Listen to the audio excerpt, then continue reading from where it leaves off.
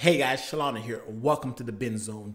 Today we're talking about Invincible and Jupiter's Legacy. I just feel like the month of May has been filled with superhero stuff. We have Invincible, we have Jupiter's Legacy, we have Falcon and Winter Soldier. So much has gone down in the month of May, but today we're focusing on Invincible and Jupiter's Legacy. So let's start off with Invincible. And I have to say, when I first saw Invincible off rip, I've heard about it because I'm a big comic book fan. Like you guys can't see my collection, but I'm mainly into DC and Marvel. So when I first heard about the show Invincible, it intrigued me because the animation style reminds me of Young Justice. I have Young Justice, well, Aqualad from Young Justice poster right there, and I have to say, it intrigued me because I love Young Justice. When it comes to superhero animated TV shows, we have the classic goats, the Untouchables, X Men the animated series. We also have Batman the animated series, right? And to me, my personal favorite, my personal bias is Superman the animated series is up there. And then from those three, those are the top three pillars of superhero comic book cartoon TV shows of all time, right? And you round that off with Young Justice and maybe Spider-Man or X-Men Evolution, those top five. So I'm like, okay, Invincible has tall shoes to fill, so I'm gonna watch it because I put Young Justice in that top five. I'll give you my listing. I like I moved Spider-Man out of there for Young Justice. So for you to get up there, it's gonna take a lot, especially hanging with the big dogs. So when I first went to so when I first got into Young Justice, so when I first went to Damn, why do I keep getting tongue-tied? So when I first started so when I first started, Jesus Christ, what's wrong with me? So when I first started Invincible, I was like, okay, this is the typical coming of age story. And for the most part, I was like, okay, I like it. It's cool. It's nothing spectacular, but it gets the job done, right? And then Omni Man was just doing his thing. And I have to say, there comes a time in everyone's life where you're defined by a hero. I feel like when I was seven or eight years old, it was a Friday night on WB and Superman the animated series was playing. It was a special movie to commemorate the new season or the new series of Superman the animated series. And I watched it, a wide-eyed kid watching Superman take flight for the first time. My jaw dropped because up until that point, I wasn't really into comic books or superheroes, so I never saw a human being or a humanoid person fly in my life. So Superman has been that guy for me until Invincible, until this guy, Omni Man. And what Omni, mm, I can't even begin to describe what I saw. Like, I just have to play. I just have to play it. I feel like, I feel like I just have to play it because when I was watching it, I was like, what? This whole episode so far was like, okay, it's typical superhero, nothing spectacular. And then I saw this. I'm watching, right? And I'm like, is his hand breaking? What is happening here? What is happening here? Holy shit. Yo, yo. I, I was not expecting this at all. I'm watching Invincible and I'm like, this is run of the mill. I'm not expecting any of this. And Omni Man goes and does that. Yo, I told you guys in the beginning of this video, I'm a huge Superman fan. And the Superman pastiches have been going through since the 40s. They've been making different variations of the Superman like figure, the Ubermensch, right? And I'm like, okay, they're cool, but they're not Superman. And then Omni Man comes along, and I have to say, he's not Superman, but holy shit, I have, I was floored. I was not. Exp- when I tell you, like, if I had a wig, it'd be snatched right about now because this is ridiculous. I was not expecting any of this to go down. And the fact that Omni Man did that so casually while fighting the Invincible's version of the Justice League, I was thinking, like, yo, that was the Flash. Could you imagine? And then the fight goes on, and he takes down the entire Justice League of the Invincible universe. And my goodness, my jaw was like this. I could not understand what was happening, but it stirred something in me. I was like, who is this Omni Man? I have to learn more. So I start watching the show and I start to get an understanding of the character of Omni Man. And at first, he comes off as your typical family man. He comes off, he has his kid, he has his wife, he's the greatest superhero on the planet. Omni Man is doing his thing, right? So we can't expect much out of him in the sense of Omni Man isn't your run of the mill Superman. Like, something is happening, something dark, the mystery of what's going on. And at this point, I'm invested in Invincible. I can't go and watch or I can't go and read the comic book because it would spoil me. I have to go along the journey. So I'm watching and I'm like, yo, I was not expecting this at all. Like, how? When I tell you guys, Superman is my favorite character ever. Like, you can actually see his poster right there. I have Superman figurine over here. I have nothing but Superman comic books. Like, the very notion of what Superman stands for is the antithesis of what Omni Man stands for. And just the dichotomy between those two, I just keep I just keep losing my focus. I just keep losing words to describe the epicness I felt. What it's that moment stirred in me watching him fight these guys and I had to keep watching. I had to find out what was happening. So as I'm watching the show and I'm looking at the journey of Mark's evolution as a character, right? I'm like, okay, Mark is going down your prototypical main character journey, your shonen main character. Like if you guys watch anime, you guys know he starts off, he's kind of trash. Like there's someone who's on a higher level, Omni Man, and he's trying to ascend to that level. So he has to train, he has to go on missions, he has to do these things. And as the show goes on, it's a clear distinction between Omni Man and Invincible because Omni Man does the ass whooping, Omni Man does the beatdowns, Omni Man doesn't fuck around. While on the flip side, Mark stays getting his ass whooped, right? Mark stays getting everything handed to him. And I'm like, I get it. I understand. But the overarching story of Invincible is the coming of age of Mark. But on the backdrop is the mystery. It's built upon Omni Man. I feel like had Omni Man not had that evil flip, Invincible as a show wouldn't be as good. Like we wouldn't be invested. Like going from the first episode thinking, yo, this is a happy go lucky run of the mill superhero coming of age story. He's doing his thing. Watching him destroy this universe's Justice League. What? Let me stop calling them this this universe's Justice League. What are their names? Because I'm doing them an injustice. I mean, they're characters too, so I, I should have their name. What? Let me pull it up. Give me a second. What are their name? I think it's the Union of Justice, or is that the Union of Justice? is Jupiter's legacy. So what are they called? It is. Let me pull that up for you. Let me see. He's part of. What is, what is he? Jesus, what the. F- hmm. Let's see.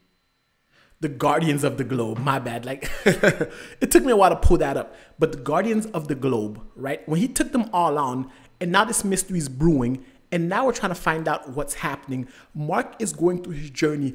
But before we get to the finale, and baby, when we get to this finale, like what we thought of Omni Man, come let me save that for the end of this. Let's go down Mark's journey, right? So Mark is living his life trying to be the best version of himself. He, he's a family guy, and then he gets himself a girlfriend in Amber. And I want to take a moment to talk about Amber because things have been trending online about Amber. People have been talking about Amber, and at first, when it was first revealed, it was a whole thing of the comic version of Amber is white.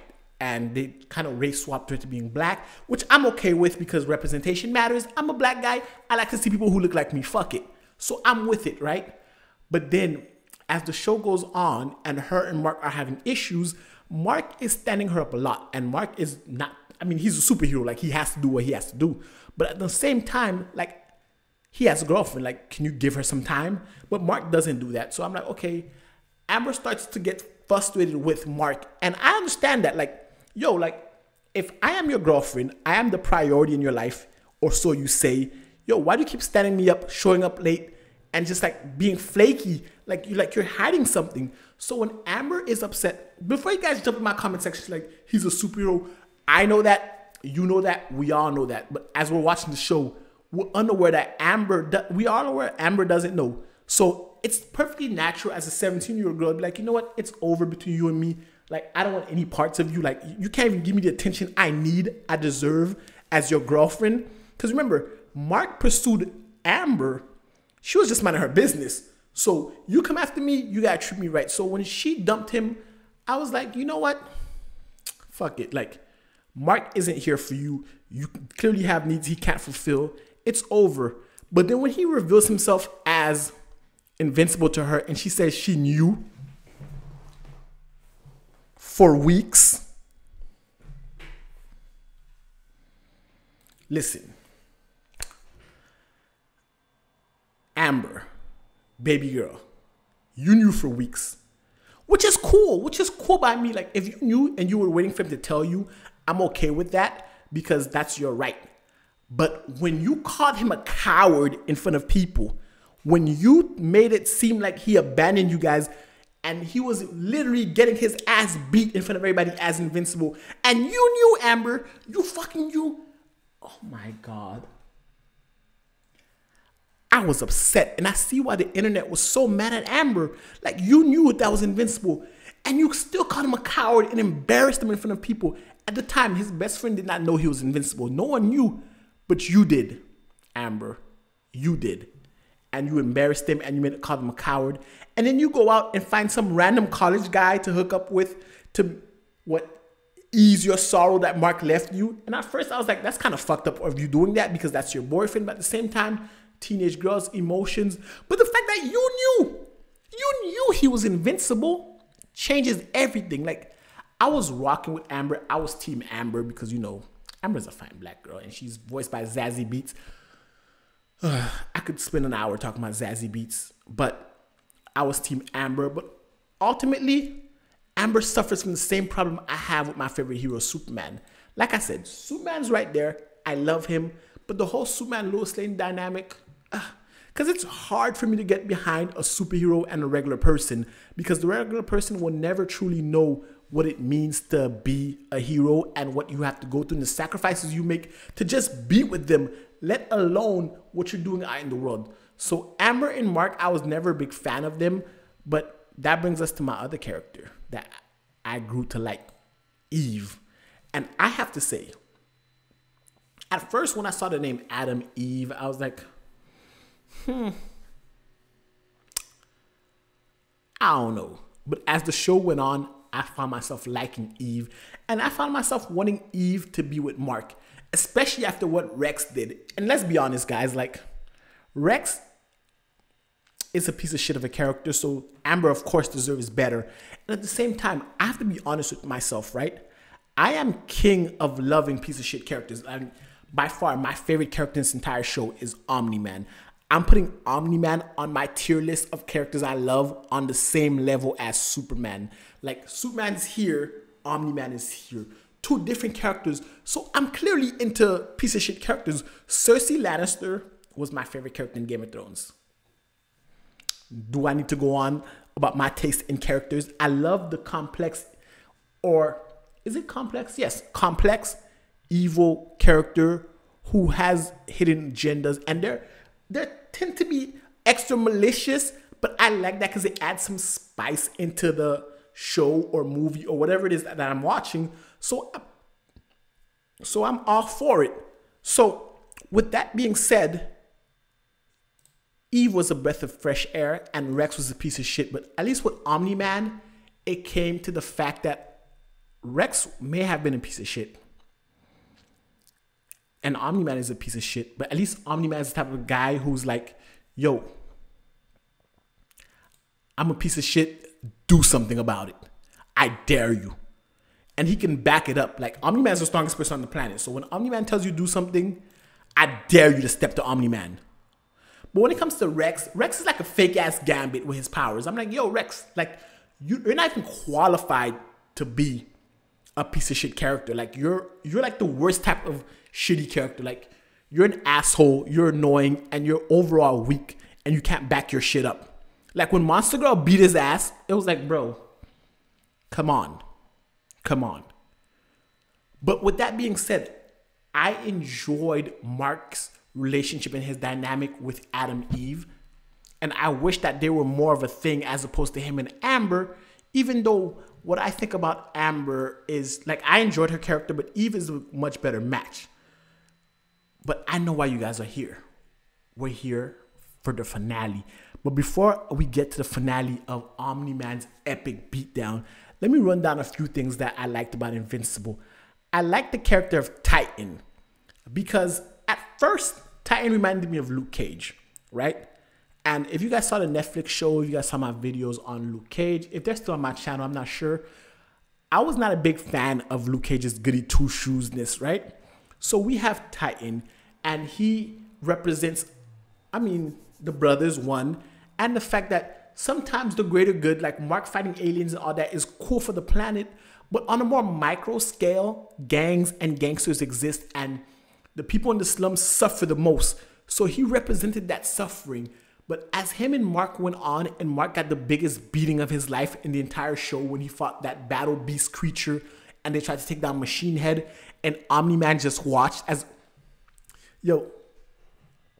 I know it's kind of fucked up that Omni Man watched his ass beat, but at the same time, he did call Cecil and send backup because remember it was an anonymous call, and of course Omni Man was watching the entire time. So even though he's a piece of shit, the seeds of him actually caring about his son have been laid throughout the season. It's just he has his own way of showing it. But Titan as a character, as the episode went on, I felt pity for him, and I was like, oh my god, like his daughter has a sickness, and they're also going to a food bank for the homeless to get food, and they're poor. So like he has all the fucking black stereotypes going against him. The only good thing about him is he has powers. So I'm like, damn, it kind of sucks that his storyline didn't get resolved by the end of the episode. But the crazy part is the twist at the end. Like, after they take down Machine Head, he became the new crown boss. He used Mark, got rid of Machine Head, and stepped into that role. And baby, when I tell you that I was floored, this was what I wanted Luke Cage to do. Granted, at the end of season two, was there three seasons of Luke Cage or two? Season two, he did become the crime boss, but it was reluctantly. Titan used the heroes who never gave a fuck about the world, put their lives on the line, and then he ascertained the level where he could possess the power to care for his daughter, his wife, and the neighborhood. And I thought, yo, that's pretty damn cool. That twist was great. I like that aspect. I love the fact that the black guy wasn't a fucking simp. But at the same time, it's like the black guy was kind of cold and slimy. Then you have Amber who's kind of annoying. It's like, okay, the representation is cool, but can we get like a non fucked up black character? That's just my thoughts on it. But even though I love Titan and I love Omni Man, like when I tell you I love Omni Man, he's my favorite character. But my second favorite character in this show has got to be the Mauler clones. when I tell you, I have not laughed so much at a pair of bad guys who are pretty intimidating. The Maulers did it. Shut up, clone. That to me, that, that that is funny. Their entire dynamic, that whole cloning process dynamic, I enjoyed very much, and I love their interaction. I love what they did. I love how they do the cloning process and they don't let you know who the original is because then that creates a whole new set of problems. Think about it. If you know you're a clone, right? What is the point of my existence? To serve you? Like it creates a crisis of consciousness that you just don't want to avoid. And them being who they are, I, I enjoyed it. I loved them. They were hilarious. They were the levity that I needed because with Omni Man's mystery and Omni Man's badassery, like I feel like with Omni Man, then we have the Mauler twins or clones, whatever you want to call them, and then we have the generic bad guys, like generic bad guys, monster of the week, whatever. But when you have bad guys with character and bad guys like these who who keeps cloning himself, and it's so dope the way he does it and the whole concept behind it, and it's hilarious. I enjoyed it. And after the Mauler twins comes Cecil. And at first, Cecil reminded me of the typical FBI guy, like this guy. Like he's the FBI guy, he's the government guy, he works for the government. Like he has no emotions. Everything is the red, white, and blue, the flag. I stand for everything. But then as the show goes on, the character of Cecil really amazed me. He puts his ass on the line. He went to the battlefield to fight Omni Man, and bruh, like any guy who gets on the battlefield, like he tried everything, and he's just doing everything he does for the betterment of the world. And like, I like him. I like Cecil. Omni Man, Mauler Twins, Cecil. Now, guys, for the heat, the resistance, or the pièce de resistance, the moment we've all been waiting for, the finale. Baby. Damn, I keep saying baby. Why do I keep saying that? Because it blew my breath away. This finale, when we found out the truth about Omni Man, and Omni Man revealed that the Viltrumites are nothing but conquerors, and there was he was sent to Earth to conquer the Earth, and then he had a son, and then he loved. When he said what he said about Debbie, when Mark asked him, Dad, like, you love me, you love mom, what about mom? And he said, I see her as a pet. This is his wife of 20 years.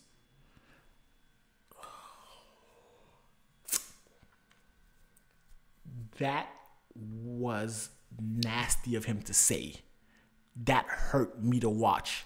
But at the same time, I'm not gonna lie and say it didn't make his character that much more fascinating to me because how do you live with someone for 20 years and you don't care about them? You raise the child, you do what they want. Like the psychology behind, like, yo, Omni Man is psychotic, but he doesn't see that and he sees the greater good of Viltrum. And I'm sitting here like, he's fascinating to me.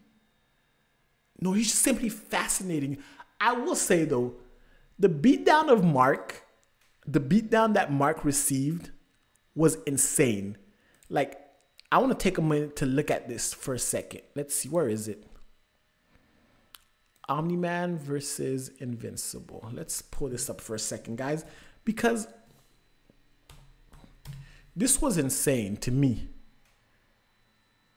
Like, when he fought Mark, where is it?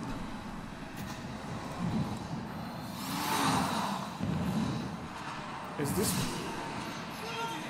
Hour 50 years when he's old, what difference does it make? What difference? You've had a life. Did seeing that man lose his life disturb you? Did it hurt? Well, let's see how you handle it. That's his son. And that's not it. That's not enough to me, right? It's this scene here. It's this scene here. I am sitting here like, hold on. No.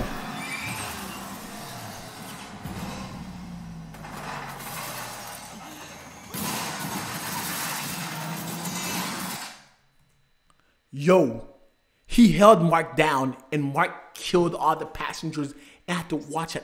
Could you understand? Do you guys not understand the trauma Mark is going through at this moment? Like, Omni Man, bro, seriously, this is your son that you traumatized. Like, even though you broke him physically and mentally, and even though Mark is a Viltrumite physically, like he can heal, but that trauma is gonna stay with him for life. And Omni Man did that to his own son. And I know what you guys are thinking now. Yo, Shalom, you just said you loved Omni Man, but you just described all the reasons why he's a piece of shit. And at that point, I, my love for the character had hit rock bottom. Like, I was like, yo, this guy's kind of fucked up. Like, why would I ever endorse someone like that? And then at the end of the fight, when he's beating Mark, and we all seen the memes. Think, Mark, think. After 500 years, after everyone's gone, who will you have? And Mark says, when he's battered and bruised, can't even get up, you, Dad. And then Omni Man stopped, looked at his son, flew off into space, and then you saw tears flowing from Omni Man's eyes. And I was like, he's not evil. Something's wrong. Omni Man needs help just as much as Mark. Something happened to him. Like, if you come from a warmongering planet and you come to Earth, because we also saw the clips of him and Debbie when Mark hit his first home run as a kid, watching Mark play baseball and how proud he was, and how Debbie became the unsung hero. Like, the show is about Invincible being a hero, but Debbie and Cecil are the heroes. Debbie tamed Omni Man as best as she can. And he really cared about Mark. And I feel like Omni Man is misunderstood or misunderstands his place or his role. And to me, that is fascinating. To me, that just took, like I told you, his character had it rock bottom for me. But after that scene and him flying off, I was like, this character is fascinating. I need to know more. I love the complexity of this character. And that's where my love of these bad guy characters come from. Like, if you're just evil like Ramsay Bolton or like a generic monster of the week, I don't give a fuck about you because you're just evil. But like when you're complex like Omni Man or Cersei and things in your life happen to make you this way, I want to know what happened to you, how that happened. This is all a reaction. So I can kind of, maybe I'm a sucker, but I could forgive. I mean, it's easy for me to forgive. I was not doing getting my ass beat. I, I wasn't Mark getting dragged around, right? But I could forgive if I understand why. And the fact that there's a shred of humanity left in Omni Man really did a lot for me. And overall, like, I fuck with it. I enjoyed the show. Like, it took me on highs and lows. And the fact that I have a character who is the antithesis of Superman, and I'm so fascinated by him and just his motivation, his reasoning, and everything that makes Omni Man Omni Man. I couldn't have asked for anything better. In this one season alone, this one season of Invincible alone, I have to say, I talked about the animated superhero hierarchy, the original X Men the animated series, Untouchable, Untouchable, Batman the animated series, Untouchable. And my own personal biases, I'm gonna put Superman in there, but I can understand people don't want to put Superman the animated series in there because he's my guy. But off one season of Invincible, he's up there, man. He Invincible in one season is in the top top five animated superhero shows ever to me after one season. But that's my thoughts on Invincible. That's my breakdown of Invincible. I'd love to hear yours in the comments section below. And if this is the podcast, go to the YouTube channel and comment your favorite moments, your favorite characters. I want to know it all because Invincible to me is a masterclass in superhero storytelling. And Robert Kirkman, the writer of the original comic book, who also did The Walking Dead, and I have to say, the first four or five seasons of Walking Dead, masterclass in storytelling. This guy is on to something. But that's it for Invincible, guys.